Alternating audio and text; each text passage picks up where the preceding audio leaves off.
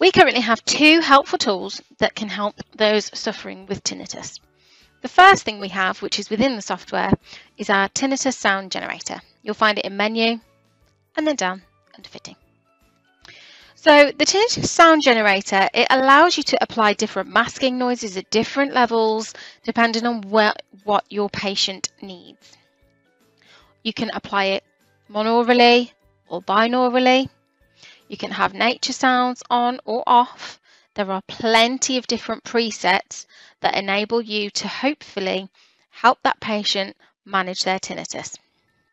You can increase the intensity you will get a warning when you go above 70, which you can click OK. If you do need to prescribe above, just do so with caution. You can increase the mic relative to the tinnitus sound generator, so you can reduce the amount of input coming from the mics and increase the amount of input coming from the tinnitus sound generator. And you can also manipulate the volume control. So you can have stimulus level or stimulus level plus environmental steering. Environmental steering is quite a handy feature.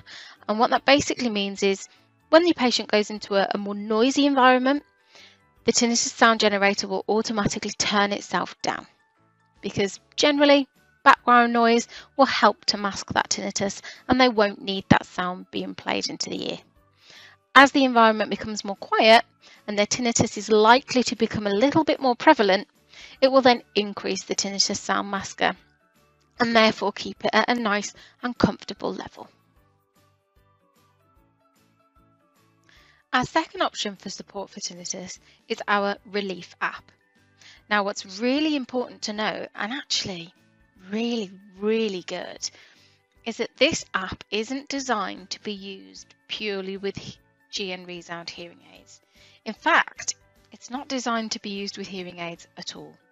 So anybody suffering from tinnitus, whether they wear hearing aids or not, can download this app for free, free and use it to its full potential.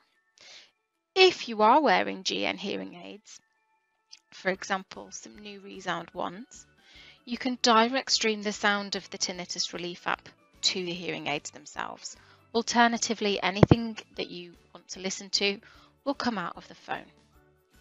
The first thing you can do is play different tinnitus masking sounds, and there are so many to choose from. You can have sounds such as the evening forest.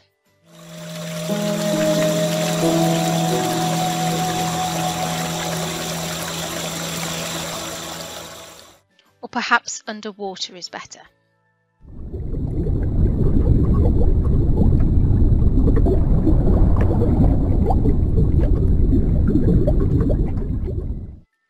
If you scroll, you can add your own custom sound and even give it its own name. You can then pick these different sound sets and create your own personal tinnitus masker.